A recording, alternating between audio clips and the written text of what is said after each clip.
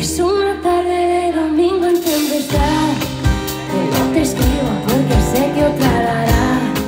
Que son las siete de camino al fin estar sin más enloquecido ya.